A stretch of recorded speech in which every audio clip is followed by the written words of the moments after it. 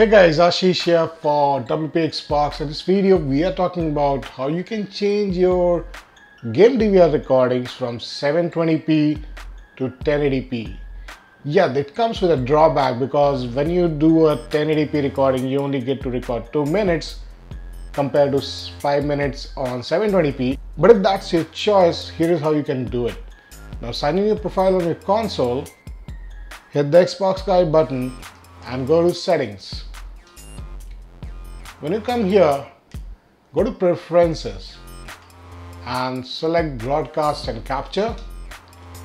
And here you can change few things but let's first change the SD thing. So I can go 1080p SDR mode automatically and it will store into my internal location of course.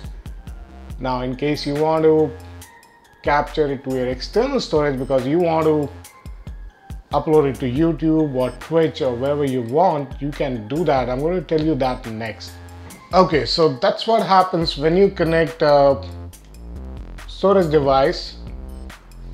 There's a screen that shows up. So if you read it clearly, it has option for using for media, format storage drive or cancel. If you choose to use external storage for media, you'll keep any content that is currently on the drive. That's what we are looking for. But if you want to use it to store your games and other things, you will have to format it and then you can use it.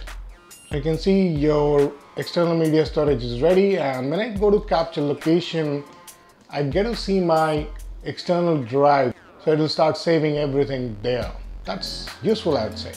However, you will have a problem if you don't format it as NTFS, that's something that I will have to look into that, but you get the idea that if you want to capture game clips and screenshot externally, storage must be formatted as NTFS.